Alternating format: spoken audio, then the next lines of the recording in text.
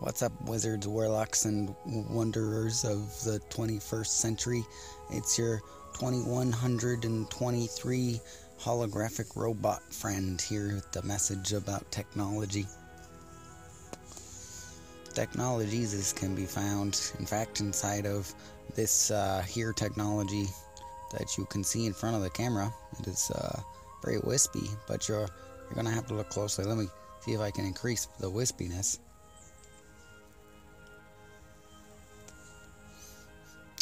Alright folks, as you can see now, what you have in front of you is capable of incredible improvement to the 3D holographic computer interface that's backing your mindware software improvements paradigm.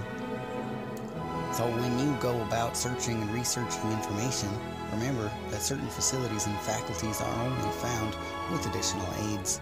In fact, in the 22nd century, people have realized how much more powerful certain aids can be. Now, I want to question all of you who spend too much time trying to make money and don't remember how important it is to find out about what's actually going to happen later on. That's actually part of why I've come back in time just to offer you some advice. Super Steve here, sitting here on the couch with myself, me, and I. You see, Super Steve is actually just a program that's running on the mainframe of 2123 in fact, there are several mainframe access available to any citizen.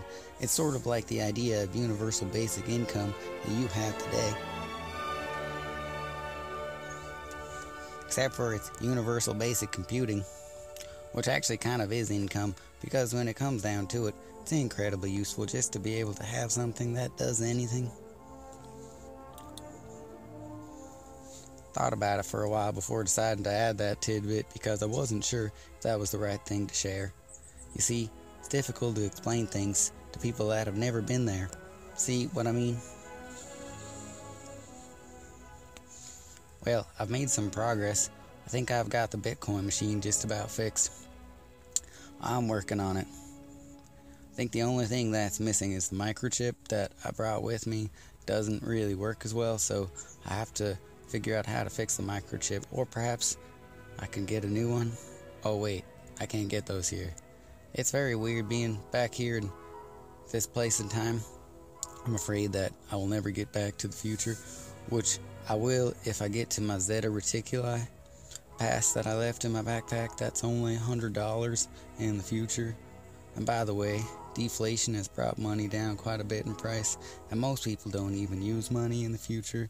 They just think about it and then use cryptocurrency or like something better than that that it's hard for me to describe.